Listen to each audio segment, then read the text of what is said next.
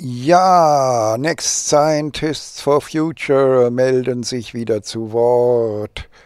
Äh, unsere heutigen Tagesthemen wir 2020 und Corona plus Corona-Ausschuss plus Fridays for Future letzte Chance für Europa und Deutschland und eigentlich auch für die ganze Welt, statt Markus Krall mit seiner bürgerlichen Revolution die der Weg in die Totalzerstörung der Welt wäre.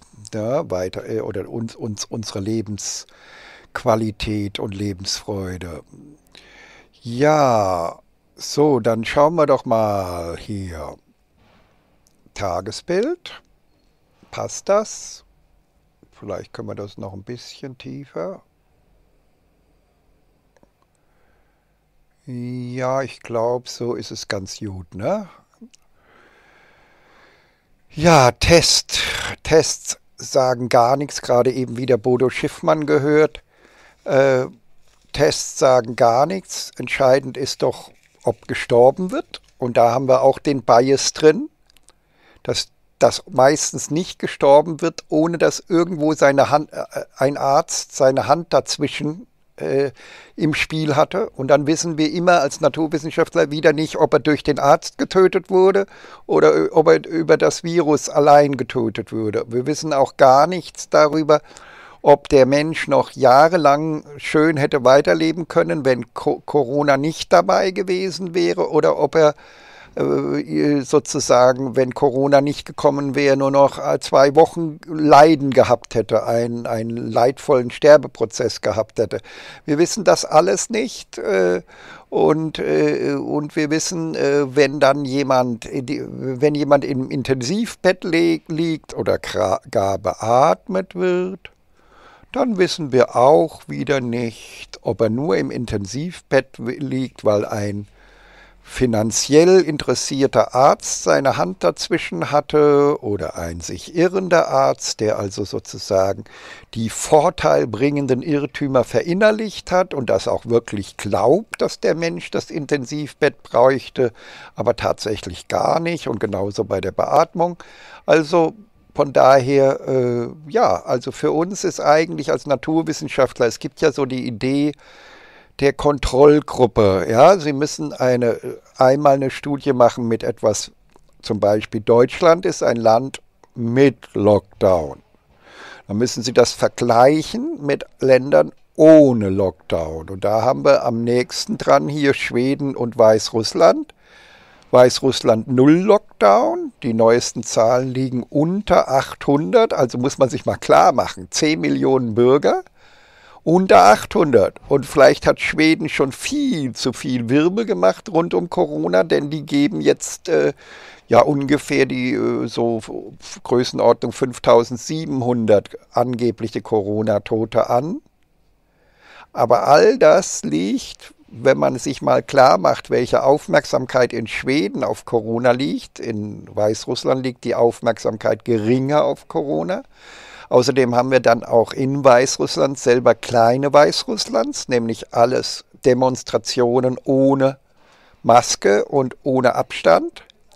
Wo sind bitte jetzt die Millionen, also die, die, die 120.000 Toten, die jetzt eigentlich die Folge sein sollten von solchen Demonstrationen und Fußballspielen mit Zuschauern und so weiter? Nix, gar nichts, ist nichts da unter 800 Tote für 10 Millionen Volk.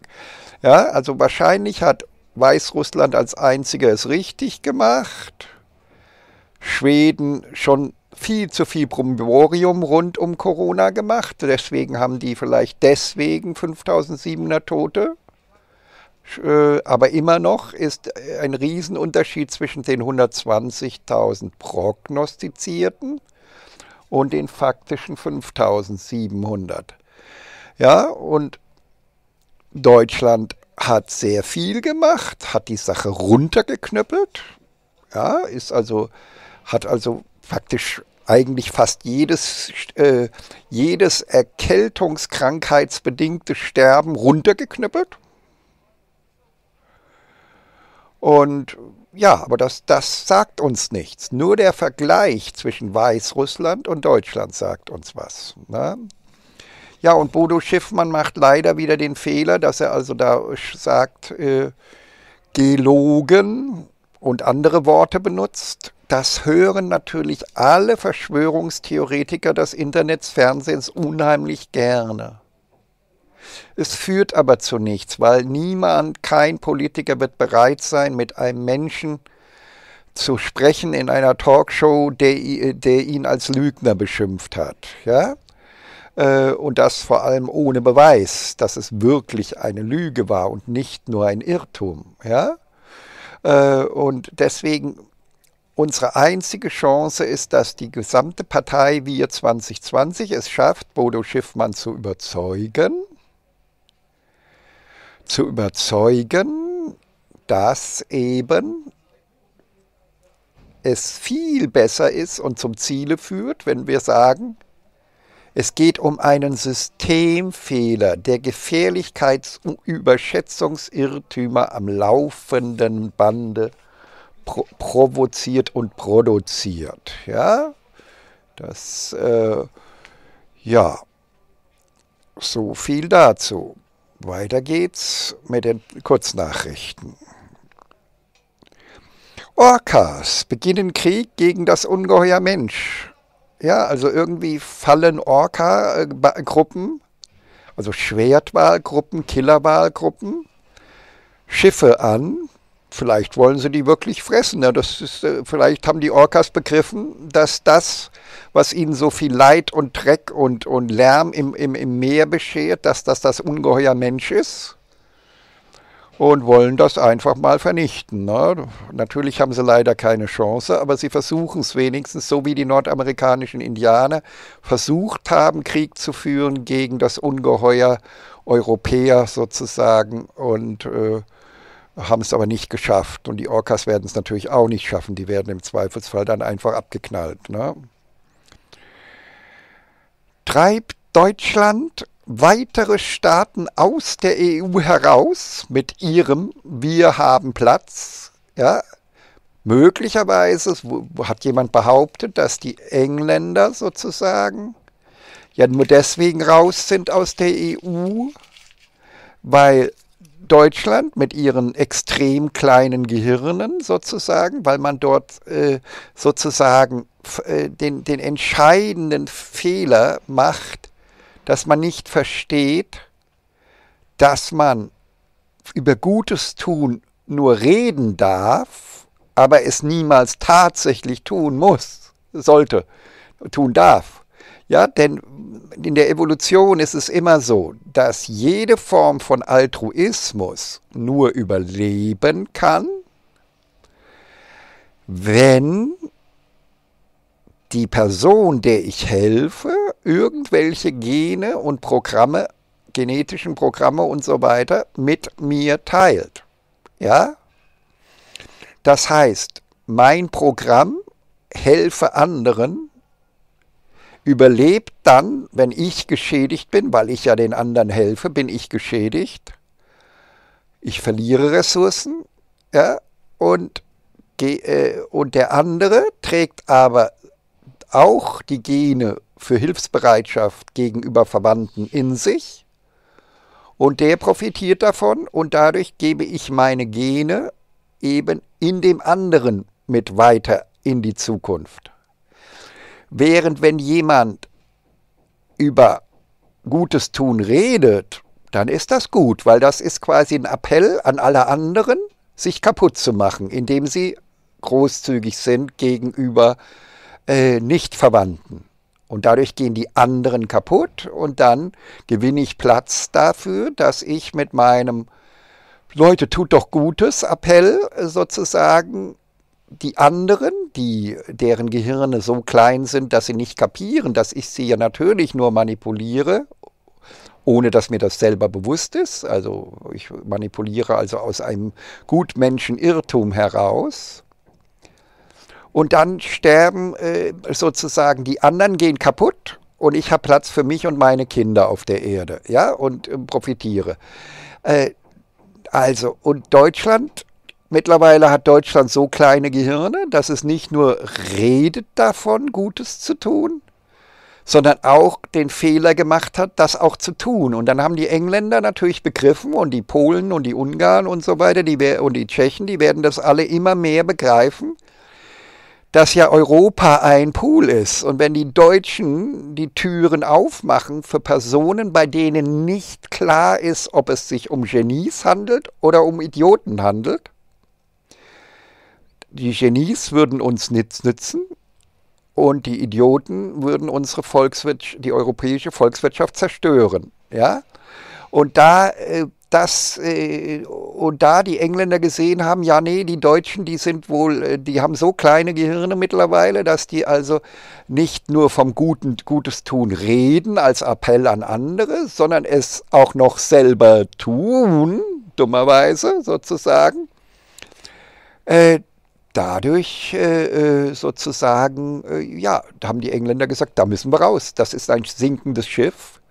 Dieses kaputtgehende Europa, da lassen wir uns nicht mit runterziehen. Ja, und das werden Ungarn und äh, äh Österreich und so, die werden das alle auch noch kapieren, dass sie äh, raus müssen aus Europa, weil Deutschland, die durchschnittlichen Gehirne in Deutschland so klein geworden sind. Ich habe ja erklärt in den letzten Sendungen der letzten Tage, wie genau das alles zustande gekommen ist. Äh, und diese kleinen Gehirne äh, führen dazu, dass die also sozusagen, anstatt nur zu appellieren, an andere Gutes zu tun, dass Deutschland das eben jetzt plötzlich selber tut, obwohl es sich um Personen handelt, die ja in sich genetisch gar nicht das Programm zum Gutes tun in sich tragen, sondern nur das Programm eventuell in sich tragen, äh, gute Taten anzunehmen, aber nicht sie selber zu tun. Ja, also ähm, das heißt, wenn sie, wenn in, in der Evolution jemand Gutes tut gegenüber jemandem, der das Gen für das Gute tun gar nicht in sich trägt, dann stirbt mit dem Ruin des Schenkers oder Gebers äh, stirbt, stirbt sozusagen das Gen für Gutes tun oder für Geben aus, weil diejenigen, denen man gibt, das Gen gar nicht in sich tragen und dieses Programm auch psychisch gar nicht in sich haben eventuell. Und damit äh, würde das äh, Programm verschwinden. Übrig bleiben normalerweise, also in der Evolution, immer nur Programme, nachdem dann Deutschland wegen seines zu kleinen Gehirnes dann ausgestorben sein wird, äh, bleiben dann übrig äh, eben wieder nur Programme, also Gene plus geistige Programme, die äh, quasi vom Gutes tun reden, wie beim Greenwashing, ja, viel darüber reden, aber bloß nichts tun, ja, also bloß keine Ressourcen vergeuden, außer an Verwandte. Da gilt die Verwandtenselektion. Ne? Aber das ist das Dilemma. Also, Deutschland senkt mit allen Mitteln den EQ. Also auch für ganz Europa. Und denn Deutschland hat mittlerweile so kleine Gehirne, dass alle ihre politischen Maßnahmen weiterhin den, den, den Durchschnitts-IQ senken, also die Gehirne kleiner machen, also nochmal ganz klar, es ist natürlich so, es gibt keine 1 zu 1 Korrelation zwischen Gehirngröße und IQ und Klugheit das, und Schulnoten. Die, alle diese Korrelationen liegen wahrscheinlich höchstens bei 0,7, aber im Durchschnitt ist das kleinere Gehirn auch verbunden mit einem niedrigeren IQ. Und deswegen für viele Menschen ist es aber einfacher, sich klar zu machen, aha, kleineres Gehirn, dümmerer Mensch. Ne? Größeres Gehirn, klügerer Mensch. Ne? Also, ähm, also gut. Äh, und wenn Deutschland seinen eigenen IQ immer weiter aktiv absenkt, dann zieht es ja ganz Europa mit, denn es ist ja ein offener Raum. Ja? Und, und das bedeutet, äh, ja, ja. Äh, und ich hoffe, dass andere dem englischen und britischen Beispiel folgen werden, bevor Deutschland alles zerstört. Es reicht ja, wenn wir kaputt gehen. Es muss ja nicht gleich ganz Europa zurückgehen. Vielleicht müsste es also ein Europa ohne Deutschland geben. Europa ohne Deutschland wäre wohl das Richtige, denn das ist, äh, äh, äh, denn Deutschland ist das, was im Moment Europa am meisten runterzieht. Ja, ja. Und zwar, ich rede hier nicht davon, dass Deutschland im Moment vielleicht noch irgendwie ein bisschen Geld hat oder noch, noch einigermaßen wirtschaftlich dasteht, sondern das, was Deutschland macht, ist viel zentraler. Deutschland verkleinert die, Gehir die durchschnittliche Gehirngröße in Deutschland.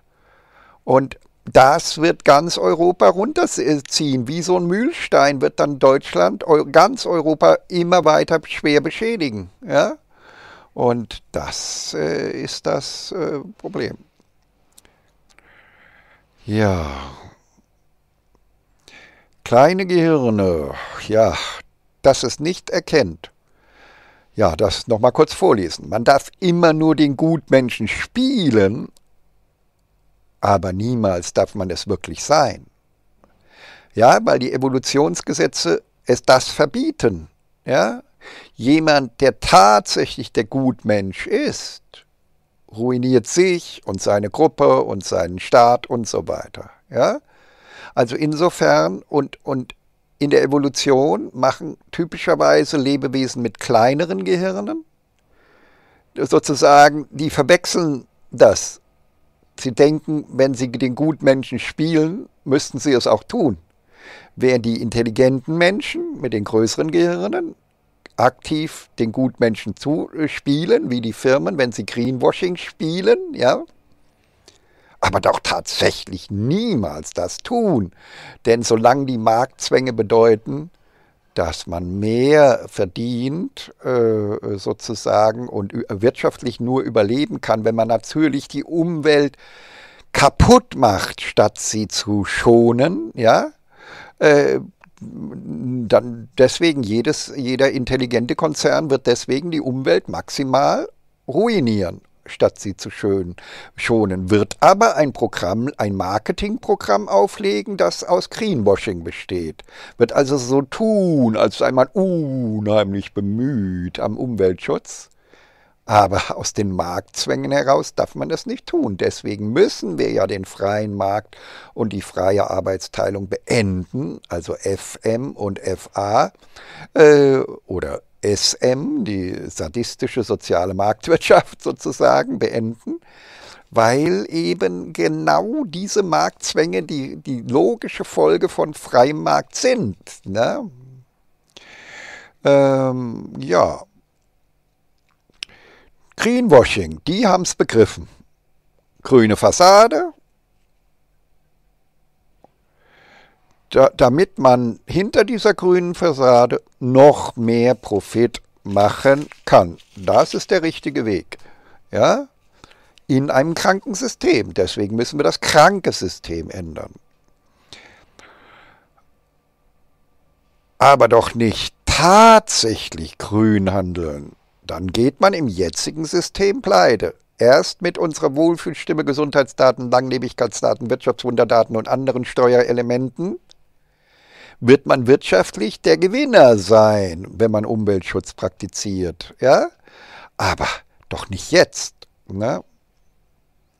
Ja, und dann die Klugen, ja, die haben es begriffen. Fassade, Entwicklungshilfe. Faktisch gute Geschäfte auf Kosten der dritten Welt machen. Ja, nur so geht es. Und wenn man jetzt anfängt, plötzlich äh, der dritten Welt tatsächlich zu geben, anstatt überwiegend nur zu nehmen, ja, dann geht man kaputt halt, ja. Und dann würde ja auch, und übrig bleiben dann auf der Welt wieder diese Gene, denn das Programm sozusagen, rede über Gutes und tu es dann auch noch, das Programm stirbt, stirbt genau mit den Trägern dieses Programmes aus. Während übrig bleiben dann wieder, weil die, also weil die Träger dieses Programmes natürlich zu viele äh, äh, Ressourcen verlieren und sie an, an Leute ihre Ressourcen geben, die dieses Programm gar nicht in sich tragen. Und damit stirbt dieses Programm aus in der Evolution und übrig bleiben wieder äh, Leute mit einem gesunden Programm. Gebe nur Verwandten, auch nur in dem Maße, in dem sie das Programm in sich haben, für Verwandten etwas zu geben. Ja? Und ansonsten gebe, äh, spiele immer nur so, als seist du ein gebender, gebefreundlicher Mensch, aber tatsächlich nimm nur. Ja, weil du so, nur so überleben kannst. Ja, und äh, im, Im Idealfalle treffen sich dann zwei Gleiche und die machen einen fairen Vertrag, wo das Geben und Nehmen auch für beide Seiten ausgeglichen ist. Ja? Aber in der Evolution überlegt, lebt immer der, der, äh, der, der sozusagen äh, so tut, als sei er gebefreundlich, aber in Wirklichkeit aus dem Geschäft mehr herausholt, als für den anderen dabei dann rausspringt. Ja? Und das ist ja das Motto unserer Entwicklungshilfe. Plündere die dritte Welt. Ja, ja wir brauchen eine Alternative zum Auto. Ja, Fridays for Future bewegt sich leider wieder, ja, also im naiven Bereich, ja. Sie verstehen überhaupt nicht, was der freie Markt äh, wie der uns autosüchtig gemacht. Und dass ohne Systemänderung kein Suchtende kommen kann. Also ich erkläre das mal ganz kurz. Also, Automobilindustrie. Hier in der Wahrheit, lebt in der Wahrheit und sagt, naja, eigentlich Sei doch froh, wenn er so wenig wie möglich Auto braucht. Das ist ein äh, chemisches, stinkendes Ding und so weiter. Macht euch alle krank, wenn ihr drin sitzt. Da kriegt er die Abgase ab, da kriegt er die Plastikchemie äh, ab. Äh, ihr, ihr, äh, ihr verdreckt die ganze Welt. Ihr habt ein unheimlich großes Risiko zu sterben oder verletzt zu werden. Also pff, vergesst es doch. Und hier haben wir dann aber nach dem Naturgesetz von Mutation und Selektion haben wir hier den ersten sich irrenden Autohändler und der glaubt wirklich, was er sagt. Der glaubt nämlich, ach ja, Autos sind eine ganz tolle Geschichte und so weiter. Das, das wird euch alles glücklicher machen und, sieht man, und wie schön das glitzert und so weiter. Und jetzt kommt aber der zweite entscheidende Irrtum, den man im Kopf hat. Ja, also ja, jetzt, das ist ein Irrtum, der scheinbar gar nichts damit zu tun hat. Aber durch das Naturgesetz von Mutation und Selektion kommt es auch zu einer solchen Kombination von Irrtümern. Muss es kommen irgendwann, ja? Und der wird der großen, der wird den Riesenerfolg haben, weil der nämlich noch etwas äh, glaubt. Der glaubt, ja, Menschen sind hochaggressive, böse Dinger und man sollte, wenn man in einem Wohnhaus wohnt, mit den Nachbarn am besten gar keinen Kontakt haben, denn es wird über kurz oder lang Streit geben und dann werden einem die Nachbarn das Leben zur Hölle machen. Und dieser Irrtum bringt viel mehr als der Irrtum, dass Autos ganz toll und ungefährlich seien. Ja? Beide bringen zusammen viel mehr äh, Profit als wenn er nur den einen Irrtum von beiden glauben würde. Weil nämlich jetzt Folgendes passiert. Die, die Leute, die ihm glauben und seinen Marketingabteilungen glauben, den Zeitschriften glauben, in denen er inseriert und wo die Journalisten auch die gleiche Meinung haben ja, vom Menschen, da passiert Folgendes. Die Menschen werden jetzt zum Beispiel auch durch Vorbilder in Spielfilmen und so weiter, wo dann vielleicht dieser Autohersteller kostenlos sein Auto zur Verfügung stellt im Sinne eines Product Placements und so weiter. Und da sozusagen wird, wird quasi, läuft, kommt die Aussage rüber habe im gleichen Wohnhaus und bei der Arbeit mit den Kollegen keine näheren Kontakte, denn die Menschen sind böse und irgendwann wirst du es bereuen und die werden dir das Leben, die Kollegen werden dir das Leben zur Hölle machen und die Mitbewohner im Haus werden dir das Leben zur Hölle machen. So, und was passiert jetzt? Jetzt werden die Leute viel mehr Auto fahren, weil sie nämlich im eigenen Wohnhaus keine Freunde haben. Und dann statistisch die Wahrscheinlichkeit besteht, dass sie zum Beispiel Freunde haben, der eine wohnt in München, der andere wohnt in Hamburg.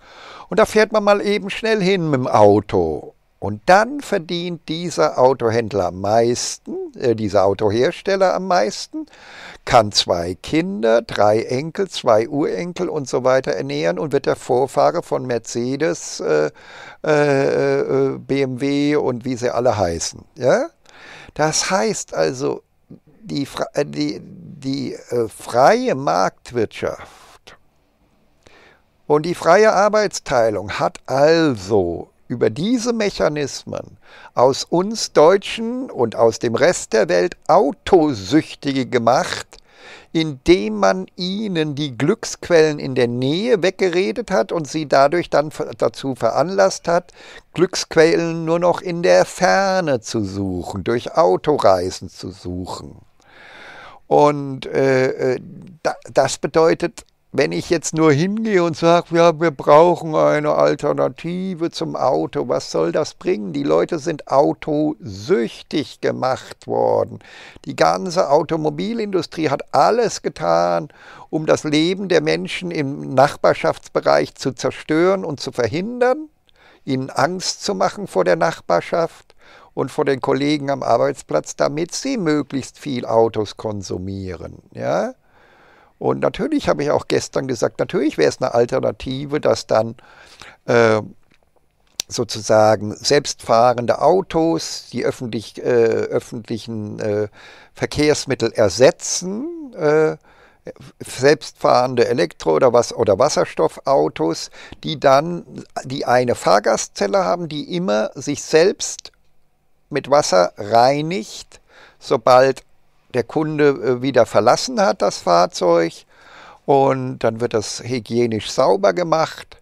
Aber jetzt das, auch das wird nicht reichen, weil die Leute äh, äh, sozusagen auch autosüchtig gemacht wurden mit dem Auto als Statussymbol, um sich zu präsentieren, um und so weiter, ja, und sich zu verlieben in dieses Stück Blech und so weiter, ja, und äh, also das, sind, das erinnert mich an so naive Forderungen wie die von äh, Nico Pech äh, äh, nach dem Decrows durch äh, Genügsamkeit und äh, äh, Suffizienz und so weiter. Ja, das sind so Appelle, die, die unterschätzen die Kraft der Sucht. Ja, deswegen erst den freien Markt mit Hilfe der nextscientistforfuture.de beenden, dann gucken, dass wir eine andere Mobilität kriegen. Erst die Sucht beenden. Auf, wenn die Sucht beendet ist, werden die Leute nur noch 10% der bisherigen Mobilität überhaupt an den Tag legen. Dann haben wir schon mal 90% Mobilität eingespart.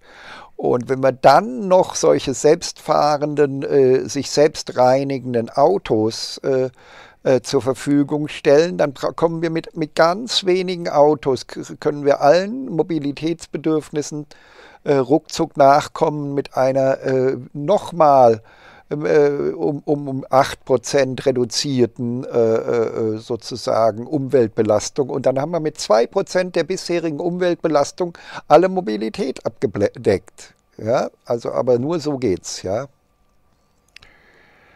Ja, Donald Trump ist sehr vernünftig scheinbar, ja, denn er, äh, ja, er, er wollte bei Corona keine Panik machen, weil er einfach genau verstanden hat, wenn ich Panik mache, erzeuge ich eigentlich noch mehr Tote und noch mehr Schäden und so weiter. Und jetzt andere untersagen jetzt, ah nein, Trump hat mit seinem Nicht-Panik-Machen äh, viele Tote verursacht. Dafür spricht aber gar nichts, denn in Amerika liegen äh, die angeblichen Corona-Todeszahlen in dem Bereich, in dem sowieso immer durch Atemwegserkrankungen in den USA gestorben wird. Also eigentlich sprechen die Zahlen für nichts Ungewöhnliches, ja? So. Und Trump äh, äh ist auch sozusagen auch vernünftig. beim Klimawandel. Ja? Was das jetzt hier heißt, Lein gehabt, galt. Ja, das Wort kann ich leider nicht lesen, kann meine eigene Sauklaue nicht lesen. Ähm, also, aber er ist jedenfalls beim Klimawandel vernünftig, damit er, er redet den einfach erstmal weg. Ja, ist ja auch wieder, das ist wieder das gleiche Motto. Ja? Denn bevor ich meine Bürger in den Wahn kommen lasse, dass sie einen Vorreiter, dass USA einen Vorreiter, so wie Deutschland sozusagen, äh, einen Vorreiter, einen Alleingang machen solle, der dann die amerikanische Volkswirtschaft total ruiniert, weil dieser Alleingang bedeutet wieder, ich gebe den anderen viel und zerstöre mich dafür selber. Ja, weil das ist wieder der gleiche Mechanismus. Ja, äh, es ist altruistisch gegenüber Nichtverwandten. Ja, und das ist, führt immer zum Aussterben des, äh, desjenigen. Ja, äh, und das so klug ist Trump, dass er erkennt, hoppla, wenn ich das Klimaproblem nicht kleinrede, dann kommen meine Bürger und machen Druck, dass wir den Vorreiter machen, so wie es Deutschland passiert ist, und dann geben wir Geld aus, kühlen die Erde und der Rest der Welt reibt, sich die in die Hände und sagt, ja, jetzt können wir, jetzt können wir die Erde weiter aufheizen, denn die USA kühlt ja für uns. Das ist ja unser Kühlaggregat. Die ruinieren sie sich, so wie die Deutschen sich ruinieren, indem sie kühlen. Und wir andere reiben uns alle die Hände, weil wir brauchen ja nicht mehr zu kühlen. Wir machen dann äh, riesige Gewinne. Ja? Und, und, und äh, das ist eben der Punkt. Ja? Es geht nur, wie die Next Scientists for Future das wollen. Deutschland oder USA in ein Wirtschaftswunderland zu verwandeln, also ganz viel Geld durch Einsparungen zu schaffen, freizuholen dann den Vorreiter zu machen und dann die Weitergabe der Reformen da an die Bedingungen zu knüpfen, dass alle dem weltweiten Emissionshandel beitreten müssen, bevor, bevor sie die 20 Reformen bekommen von den Next Scientists for Future. Und allein kriegen sie es nicht hin, da machen sie nur Schrott, denn dafür reichen deren Gehirne nicht aus, um da nicht lauter Fehler einzubauen. Ja? Also, äh, das äh, ist der Gang der Dinge. Also das heißt, letztendlich, denn jedes Land, das im Moment ohne die Next Scientists for Future und ohne deren Erzwingung eines weltweiten Emissionshandels und so weiter und ohne diesen Club der Willigen beim Emissionshandel, was sehr verwandt ist, äh, den Überlegungen der Next Scientists for Future, äh, würde die USA eben Dinge machen, die viel kosten, für nichts. Ja? Professor Sinn hat das ja auch ausgerechnet. Er hat ausgerechnet, dass es möglicherweise die Folge davon, dass Deutschland jetzt ohne die Reformen der Next Scientists for Future.de die, den Vorreiter macht beim Klima, dass dadurch die weltweite CO2-Belastung insgesamt sogar größer wird. Weil nämlich jetzt dann die Scheichs äh, Panik bekommen vor dem Ende des Ölzeitalters zu billigeren Preisen noch mehr auf dem Weltmarkt anbieten und äh, überall äh, die Leute jetzt billiger äh, Öl bekommen und Benzin bekommen und dadurch automatisch mehr ausgestoßen wird. Also es wird noch nicht mal, es ist noch nicht mal so dann, dass also was Deutschland äh, nicht ausstößt, durch die Rest der Welt äh, übernommen wird, sozusagen an Ausstoß, sondern die Rest der Welt stößt viel mehr auf, aus, weil sozusagen der Alleingang Deutschlands eine Provokation für die Scheichs ist, Öl billiger zu verkaufen, bevor der ganze Weltmarkt zusammenbricht für Öl. Ja? Und äh, das, äh, ja, das, das sind die Dinge, aber wie gesagt, das ist alles eine Frage der Gehirngröße. Und wie gesagt, Deutschland stirbt, es sei denn, letzte äh, Chance sind eben. Wie war das hier? Wie ist das mit der letzten Chance? Äh, wir 2020, also unsere letzte Chance ist, dass Bodo Schiffmann von den, der Restpartei überzeugt wird, wie es ja schon am Laufen ist, dass nur die Next Scientists for Future.de Reformen in der Lage sind, die Ursache für die Schweinegrippe und die, ja, also wie war der Satz hier irgendwie, der, die Leute glauben an den Osterhasen, an den Weihnachtsmann, an die Schweinegrippe und an die Corona, super, an das Corona-Killer-Geschichte und so weiter, ja. Äh, ja, eben Menschen mit kleinen Gehirnen kann man alles erzählen. Ja? Und, äh, und aber das System produziert Schweinegrippe, das ist die Systemfehler produzieren, Corona-Irrtümer und so weiter. Ja, also das muss korrigiert werden. Ja?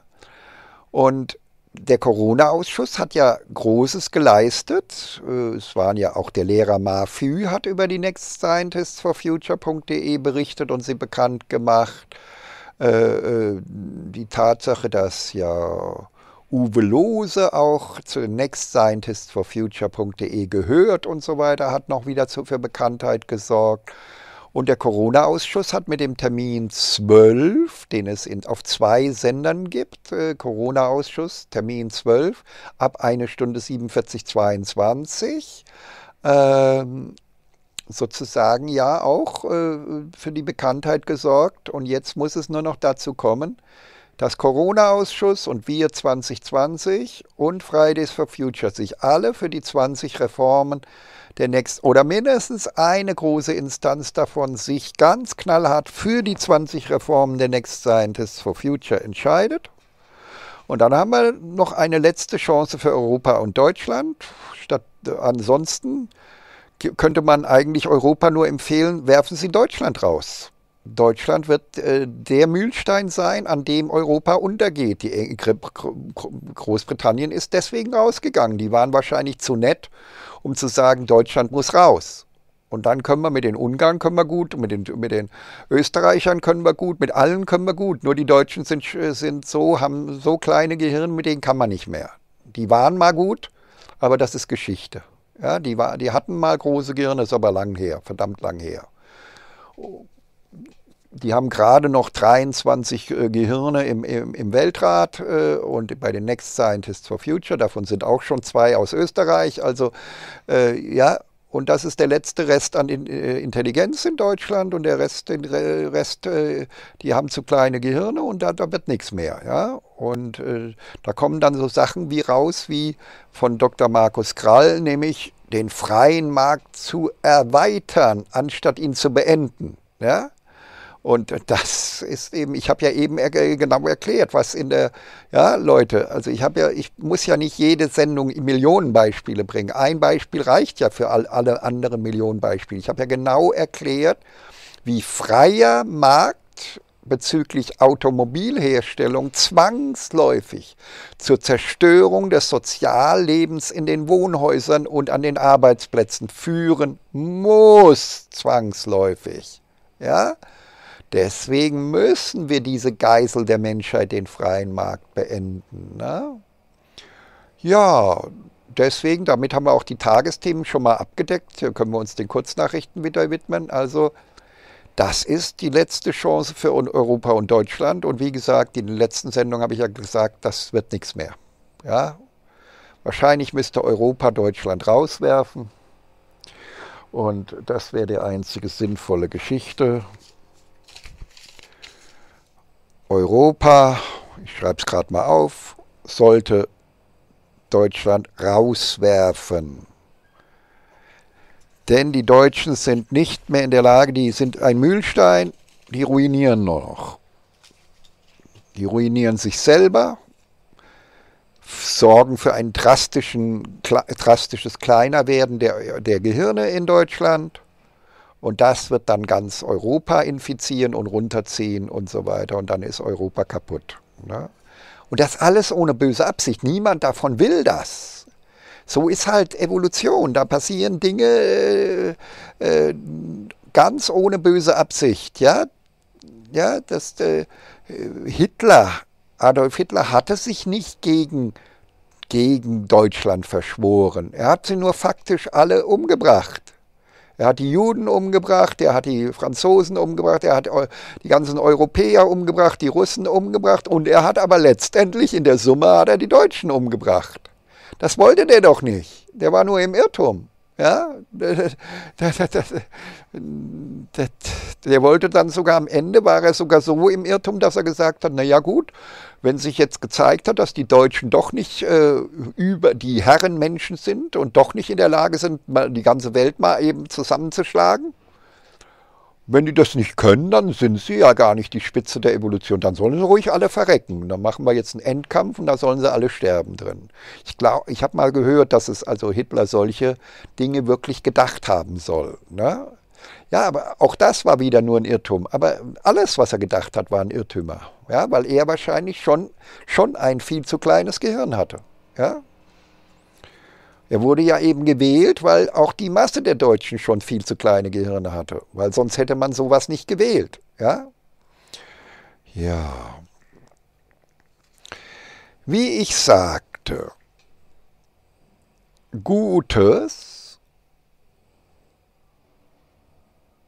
nee, wie ich sagte, war eine Entsendung darüber, Bill Gates sieht sich eben als Gutmensch. Nee, das war eine Nachricht bei GMX. Äh, er, er, er glaubt wirklich seine Irrtümer. Das ist, da hat keine bösen Absichten. Der staunt, heißt es in dem Artikel, über die Verschwörungstheorien, die sich auf ihn beziehen, ja? Also, weil, weil er, er sieht sich als Retter von Millionen von Menschen, ja? Äh, und äh, deswegen, also von daher, ich habe es die ganze Zeit gesagt. Da wird ein Mann beleidigt, der beste Absichten hat und nur, aus, nur sich im Irrtum befindet. Natürlich kann er mit seinem Irrtum Millionen Menschen umbringen. Aber das machen alle, die die Irrtümer tragen. Da wir aber mit freiem Markt und freiem Arbeitsteilung ja eine Maschine, ein Kopierer, also der freie Markt und die freie Arbeitsteilung, habe ich ja eben gezeigt, ist ein Kopierer von vorteilbringenden Irrtümern. Und ist, deswegen ist ja die Welt, alle Köpfe sind weltweit voll von Massen an Irrtümern, weil freier Markt und freie Arbeitsteilung automatisch als Kopierer von oder Multiplikatoren oder Kult, Kopierer von vorteilbringenden Irrtümern wirken. Ja? Und deswegen müssen wir ein planwirtschaftliches Schutzdach bauen, also echte Planwirtschaft statt Pseudoplanwirtschaft, nämlich mit Wohlfühl, Stimme, Gesundheitsdaten, Langlebigkeitsdaten, Wirtschaftswunderdaten und anderen Steuerelementen, eben die Wirtschaft zu einem Multiplikator oder Kopierer von dann vorteilbringenden Wahrheiten zu machen. Ja? Okay, aber ich, ich erzähle es hier, ich rede hier in Deutsch, obwohl ich doch langsam begriffen haben sollte, dass die Gehirne meiner Zuhörer im Durchschnitt zu klein sind. Das sind einige, äh, sind ja immer wieder, kommen ja immer wieder positive äh, Kommentare. Das zeigt mir, da gibt es schon noch, draußen sind da doch noch irgendwo Leute mit großen Gehirnen, aber die sind die Ausnahme.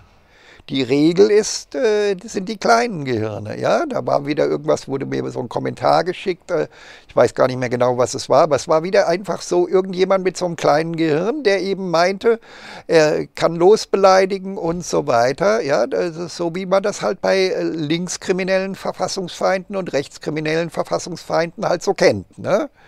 Ja, Deswegen ist es ja auch so gefährlich, wenn Bodo Schiffmann und wir 2020 sich nicht deutlich von jeder Verschwörungstheorie distanzieren, denn jede Verschwörungstheorie ist letztendlich indirekt eine Aufforderung äh, an andere oder wirkt als Aufforderung an, an andere, die bösen kriminellen Verschwörer, denen Gewalt anzutun. Und das, äh, das führt nie zu was Gutem. Ja? Also Verschwörungs, also die Linksradikalen haben ihre Verschwörungstheorie, da ist der Reiche ist also ein Ausbeuter und ein Mehrwertabschöpfer, als das wird er beschimpft, als böser Mensch in der Hinsicht. Und die Rechtsextremen, die haben ihre äh, sozusagen äh, revolutionären Tendenzen und beschimpfen dann äh, Menschen mit an, äh, anderen Sachen. Aber im Prinzip ist es alles das Gleiche. Es sind beides Verschwörungstheorien. Bei denen, bei den Rechten ist es dann eher der böse reiche Jude ne? oder so. Oder der böse reiche Bill Gates. Ne?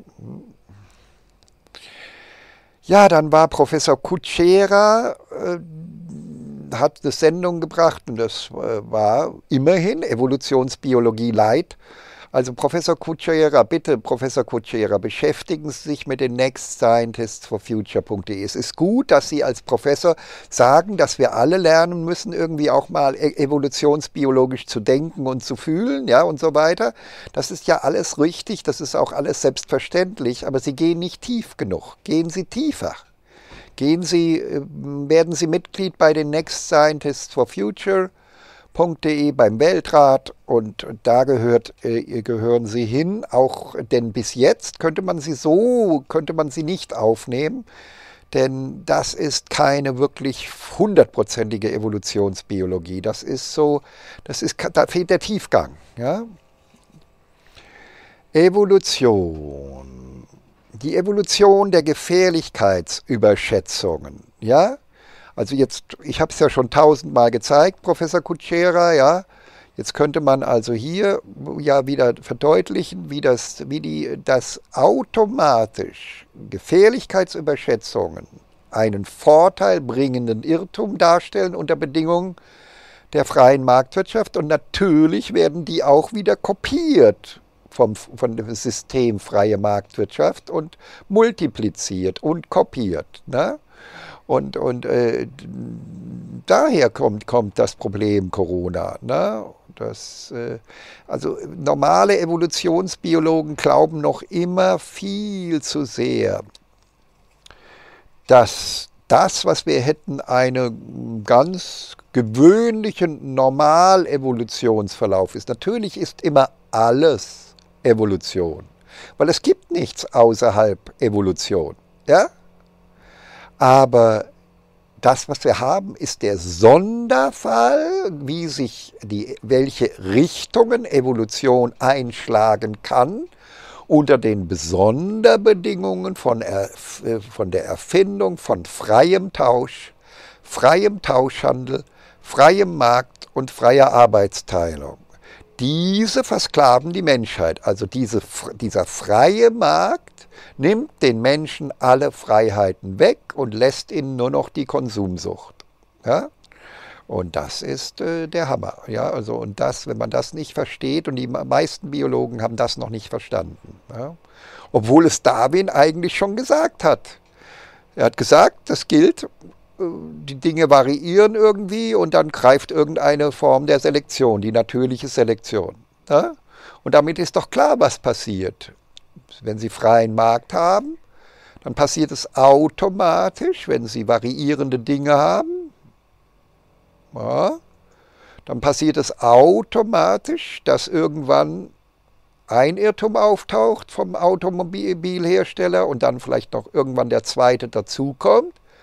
Und das ist zwangsläufig. Und dann haben Sie eine Automobilindustrie, die letztendlich die Menschen dazu manipuliert, ihr Sozialleben im eigenen Haus aufzugeben und stattdessen mit dem Auto nach Hamburg und nach München zu fahren. Also Autos zu konsumieren. Ja, und das ist zwangsläufig. Ja, also das, ist, äh, das hat Darwin schon, also das steckt in Darwin schon drin. Und 160 Jahre lang hat das die Menschheit nicht verstehen können, aber wir haben ja zum Glück auf der Welt noch diese 23, also über 20, circa 20 Professoren, Doktoren und so weiter. Ja, ja also Tagesthema ist beendet und jetzt machen wir nur noch die Kurznachrichten fertig. Ja. Wir glauben, ja, das habe ich doch eben schon gesagt, ja, Weihnachtsmann und so weiter. Warum, und jetzt zum Thema Bonobo-Kommunismus müssen wir uns ja fragen, warum ist aus ZEC, also Zentrum für experimentelle Gesellschaftsgestaltung bei, bei Belzig und dem anderen Dieter Doom-Ableger äh, Tamera in Portugal, warum sind dort nicht daraus nicht 100 ZECs entstanden, also 100 Kommunen entstanden? weil sie nicht attraktiv sind, weil ihre Gehirne zu klein sind, um zu verstehen, dass, der, dass das Problem viel größer ist, nämlich dass freier Markt und freie Arbeitsteilung die Menschen unfähig machen zum Kommunenleben, dass es sehr harte Arbeit erfordern würde in einer freien Markt Gesellschaft sozusagen überhaupt eine glückliche Kommune hinzugehen, denn äh, freier Markt zerstört Glück, damit die Leute konsumsüchtig werden, ja, und zwar ohne böse Absicht, ja, also das ist keine Verschwörung, das sind Mechanismen der Evolution. Nicht bewusste Mechanismen der Evolution, sonst nichts. Ja, und dadurch äh, haben all diese Kommunen keine Chance, sich größer zu werden, also sich auszubreiten und Ableger zu bilden weil die Menschen dort nicht glücklich genug sind. Und deswegen bin ich auch nicht dort. Hm. Ich brauche nicht ein zweitklassiges, halbwegs verklemmtes Kommunenleben. Ich habe mich ja schon gegen die Frauen entschieden, obwohl ich ja früher äh, sozusagen äh, ganz viele Freundinnen hatte, ganz, ganz viele Freundinnen und so weiter. Und ein ganz, äh, ja, aber sozusagen das Verhältnis zwischen Aufwand, Flirtaufwand und Flirtarbeit. Gucken Sie sich mal so ein Tier an, wenn das seine Balztänze macht, was für eine Energieeinsatz, was für eine Arbeit ist das ist, ja? Und dieses, die Tiere machen ja diese Arbeit, um dann glücklich machenden Sex zu haben, ja? Und bei uns, bei uns Menschen ist es mittlerweile so, dass wir, was weiß ich, zehn Einheiten arbeiten müssen, um dann drittklassigen Sex zu bekommen, also eine Einheit Vergnügen zu bekommen. Ja? Und äh, das rechnet sich nicht mehr. Ja, das ist, die, die Menschheit ist, ist durch den freien Markt so verklemmt geworden, das rechnet sich heutzutage nicht mehr. Ich habe das noch erleben können, wo wir nach 68, ja, wo, wo wir wirklich äh, noch Spaß am Sex teilweise hatten, da, da war dann vielleicht das Verhältnis 10, äh, Aufwand 10 Punkte, Spaß 8 Punkte. Das ging doch noch. Ja, das, das, das, das ging noch. Aber heutzutage ist ja, gerade wenn Menschen etwas älter werden, und ich bin ja auch nicht, nicht, nicht unendlich jünger geworden, äh, ist dann heute ist, ist mehrheitlich, also je älter die Menschen, da ist das Verhältnis 10 zu 1, also 10 Aufwand, Zehn Punkte Aufwand, ein Punkt Spaß und Glück. Äh, und, und, und auch bei den jüngeren Leuten ist mittlerweile längst 10 zu 5. Ne? 10 Punkte Aufwand, Punkt, 5 Punkte Spaß. Ja, das, was, was die meisten sowieso machen in, in Liebesbeziehungen heutzutage, ist, dass die gemeinsam sich krank fressen oder irgendwelche anderen Suchtkonsum machen, gemeinsam saufen, gemeinsam rauchen. Das ist sowieso das, worauf es hinausläuft äh, in, in der freien Marktwirtschaft. Ja. Ja, ach so, das, vielleicht erwähne ich das nochmal ganz kurz für die, die es interessiert. Bitte, liebe Zuhörer, tun Sie auch, retten Sie die Welt, teilen Sie, machen Sie nextscientistforfuture.de überall bekannt, aber retten Sie sich vor allem auch mal selber. Hören Sie auf zu essen, also nicht ganz, aber gehen Sie runter, messen Sie Ihren Bauchumfang, wenn Sie als Frau über 80 liegen, sind sie auf dem Weg in die Krankheit und zwar Bauchnabelumfang. Genau gerade Bauch raushängen lassen und genau um den Bauchnabel rum messen. Ne? Und ganz schön gerade messen, nicht schief. Und wenn Sie als Mann über 94 cm liegen und als Frau über 80 cm, dann sind Sie auf dem Weg in die Krankheit laut AOK, Allgemeine Ortskrankenkasse. Ich habe es extra nochmal alles nachgelesen. Und was mache ich jetzt, dass ich unter 94 komme? Denn ich bin äh, ja so groß und schlank, dass die Leute immer sagen, ja, Sie sind ja so super schlank. Ja, das ist alles Quatsch. Bauchnabelumfang messen. Da ist die Wahrheit. Da ist das, dieser Wert ist der Wahrheit am nächsten von allen Werten. Ja? Absolut wahr wird er auch nicht sein. So, und dann ähm, machen Sie einfach äh, äh, Folgendes. Kaufen Sie sich einen Tresor, der nur mit zwei verschiedenen Schlüsseln zu öffnen ist.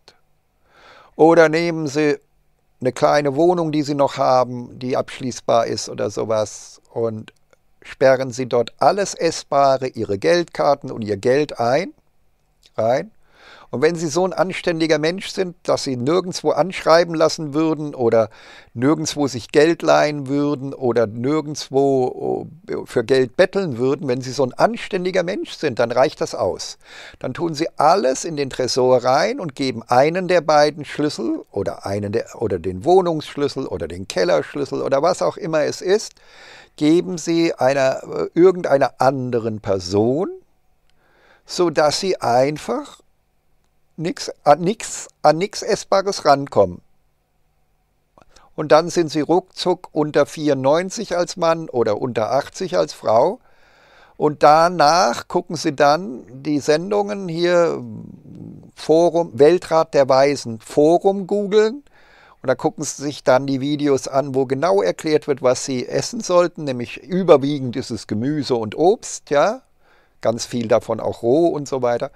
Und ja, und dann essen sie und sobald sie, sie gucken dann auf der Waage, so 94 Zentimeter, also das bedeutet ungefähr so und so viel Kilo. Äh, und unter 80 cm für die Frauen bedeutet so und so viel Kilo. Da müssen Sie nicht jeden Tag den Bauchnabel messen, sondern gehen Sie auf die Waage. Sie müssen schon ab und zu den Bauchnabel wieder essen, denn wenn Sie messen, wenn Sie nämlich zu viel Muskulatur verlieren, dann bedeutet das, dass Sie trotzdem noch zu viel Bauchumfang haben können. Ja? Äh, aber nur jede Woche einmal den Bauchumfang messen äh, und äh, den Bauchnabelumfang messen. Äh, und äh, jeden Tag können Sie auf die Schnelle äh, sozusagen auf die Waage steigen. Und wenn Sie eben sozusagen schon etwas zu hoch liegen, dann gibt es halt mal dann jetzt nichts zu essen. Ja, und so. Und dann versuchen Sie, ob Sie das hinschaffen. Und Sie müssen halt das lernen, was ich auch noch lernen muss. Alle Geschenke von Essen sofort in den Mülleimer zu werfen. Ja? So, also das heißt, denn die sind gut gemeint. Die Leute haben ja keine bösen Absichten. Die meinen es ja gut und schenken eine Plas äh, äh, Packung Süßigkeiten, die einen aber dann krank macht und übergewichtig macht und äh, Bauchfett erzeugt. Also machen Sie das Gleiche. Ich beginne wahrscheinlich am Mittwoch beginnt bei mir das Totalfasten und ich höre nicht auf und ich kriege den Schlüssel äh, für die Geldkarte nicht vor, äh, bevor ich äh, nicht bei 93 cm, also unter 94 cm bin. Und dann werde ich es auch so machen, dass ich dann immer nur die Geldkarte zur Hand nehme, wo ich also nur ganz kleine Beträge drauf äh, sind, ja. Und dann kriege ich quasi von den äh, kriege ich nur diese Karte und dann kann ich, äh, habe ich für eine ganze Woche oder so äh, nur 5 Euro fürs Essen zur Verfügung oder 10 Euro. Und wenn das auch noch zu viel ist, dann, dann kriege ich halt nur noch 5 Euro auf die Karte. Und dann muss ich die ganze Woche mich ernähren von diesen 5 Euro und das, das wird mir gut tun. Also das äh, sozusagen schaffen, bringen Sie sich in die Situation, als wären Sie so arm, dass Sie gar nicht viel kaufen könnten und kaufen Sie dann von dem Geld, was Sie haben, nur äh, Gemüse, nur ein Kohlrabi oder, oder ein paar Paprika oder, ja, oder ein Obst oder so. Und, und dann gucken Sie mit der Waage ob sie es dann schaffen, unter, äh, also unter ihren Kilos zu bleiben, beziehungsweise beim Messen gucken sie, dass sie immer unter 94 bleiben als Mann und, und als Frau immer unter 80 cm Bauchnabelumfang. Ja? Retten Sie sich selbst und retten Sie dann parallel dazu. Und alle weiteren Tipps finden Sie unter Weltrat der Weisen Forum. Da ist irgend sowas Gesundheitstipps und Neues. Ja. Gucken Sie, studieren Sie das gesamte Forum und dann haben Sie da schon mal, äh, haben Sie, glaube ich, fünf, sechs, sieben, acht Sendungen, die Ihnen genau erklären, was gesundes Leben, wie gesundes Leben geht. Ja. Wie, ja, ja, ja, ja, ja. Genau, also diese, diese, diese ganzen Kommunen waren eben nicht attraktiv ne? und sind nicht attraktiv, auch für mich nicht. Echte Wissenschaft als Finder vorläufiger, handlungsleitender Wahrheiten für Technik und Politik. Also echte Wissenschaft ist in Wahrheit nicht das, was wir heute haben, diese Universitäten voll Pseudowissenschaft und Pseudowissenschaftlern, das ist, äh, das ist keine echte Wissenschaft. Echte Wissenschaft ist ein Finder von vorläufigen, handlungsleitenden Wahrheiten für Technik und Politik. Also, gucken wir, die letzten großen technischen Erfindungen kommen überwiegend aus den USA. Die machen also in diese Richtung besser echte Wissenschaft äh, äh, sozusagen als Europa und Deutschland. Nur in einem sind wir jetzt äh, die Besten. Also denn Charles Darwin und Alfred Russel Wallace waren Engländer oder Briten.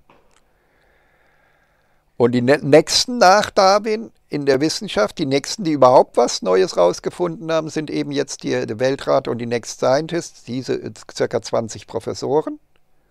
Also in der Wissenschaft ist Europa und Deutschland insofern noch Weltspitze, aber mit dem gleichen Problem, dass natürlich äh, der ganze Rest der Welt alles, alles tut, um, äh, so wie bei Darwin, wo man alles getan hat, um 160 Jahre lang bloß nicht zu akzeptieren, äh, äh, dass er recht hat, sozusagen. Genauso läuft es jetzt hier wahrscheinlich auch eben äh, bei den Next Scientists for Future, ja, weil das ist immer so, die Leute mit den kleineren Gehirnen äh, sagen immer, ah, nee, die irren sich. Ja, Darwin irrt sich. Ne?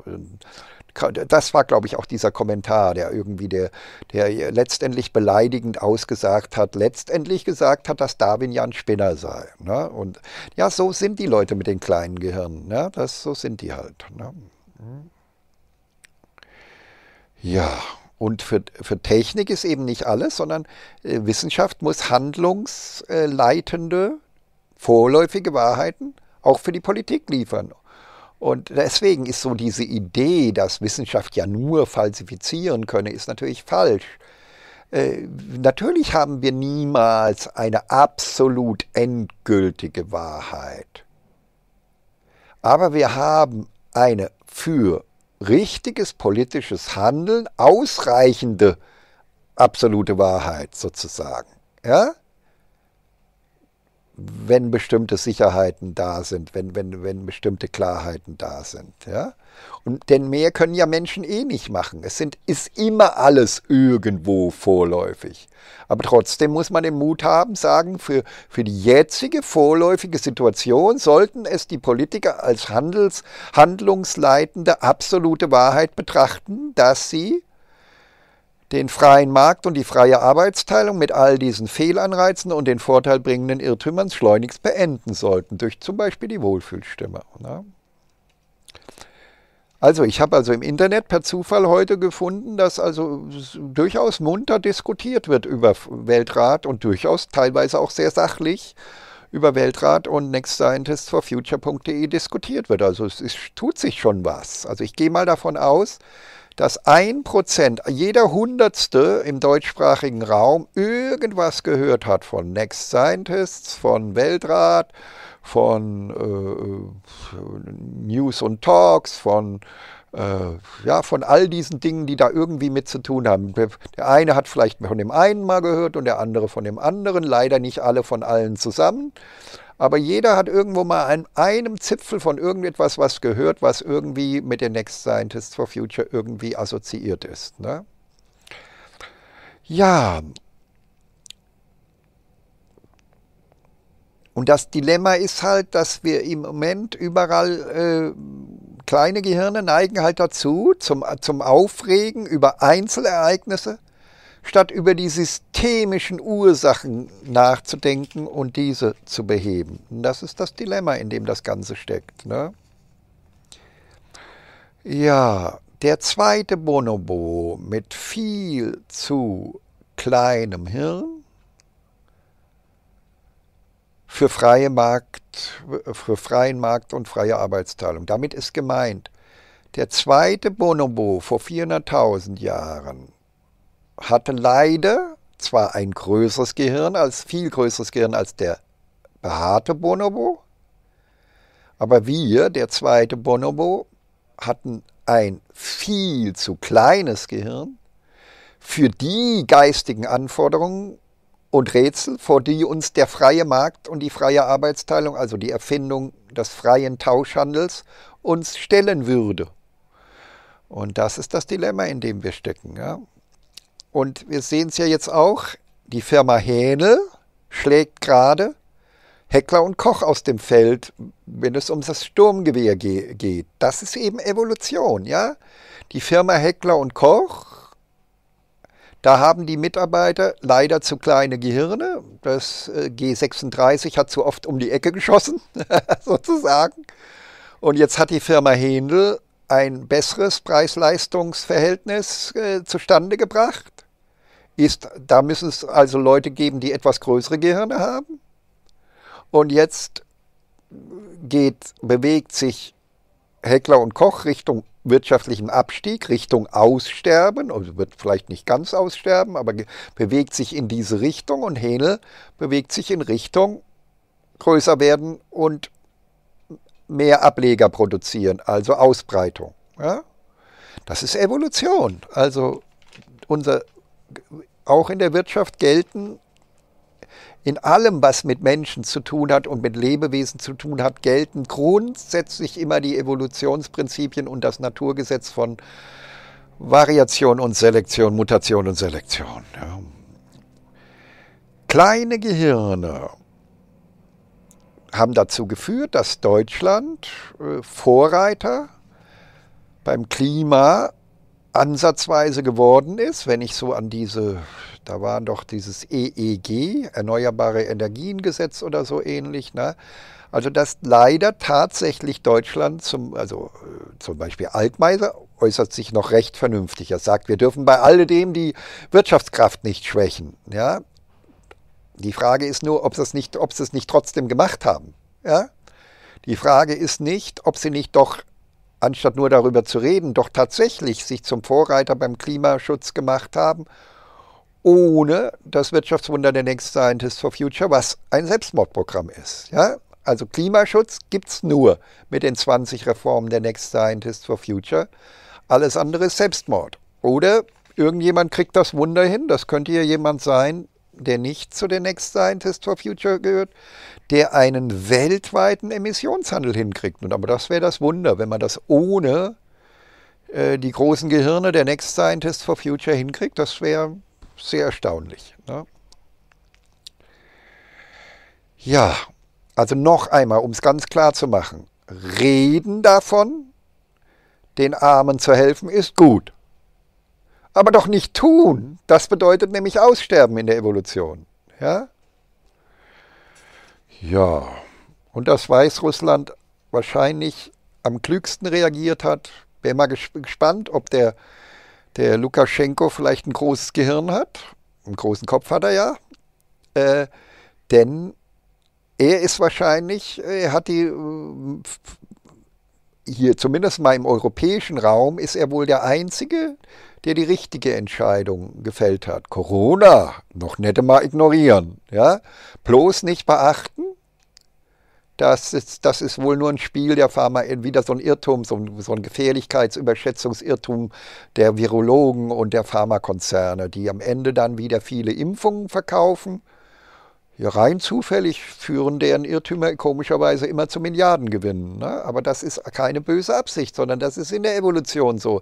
Nur die, die die richtigen Irrtümer im Kopf hatten, die richtigen vorteilbringenden Irrtümer, die wurden überhaupt erst zu großen Pharmakonzernen. Die anderen sind pleite gegangen. Ja?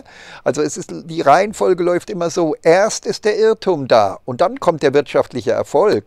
Und dann ist es doch klar, dass ohne böse Absicht einfach nur diese Irrtümer weiter abgespult werden. Und, und die führen immer weiter zu großem wirtschaftlichem Erfolg. Ja. ja. Dann wurde nochmal klargemacht in einer Sendung irgendwie, dass das Geschäft für den einen Milliardärskönig selbstverständlich den anderen schadet. Ja, ich habe es ja oft genug äh, erläutert hier. Ich habe es ja so oft erläutert. Ne? Also, lieber Milliardärskönig, das Dilemma ist ja, dass wenn du Milliarden verdienst, dabei alle anderen Milliardärskönige schwerst geschädigt werden, die 2000 anderen auf der Erde. Und wenn die 2000 anderen ihre Geschäfte machen, wirst du durch diese 2000 anderen, wird dein Leben beschädigt. Ja? Und deswegen, lieber Milliardärskönig, äh, müssen wir alle gemeinsam den freien Markt und die freie Arbeitsteilung beenden. Es geht nicht anders. Ne? Ja.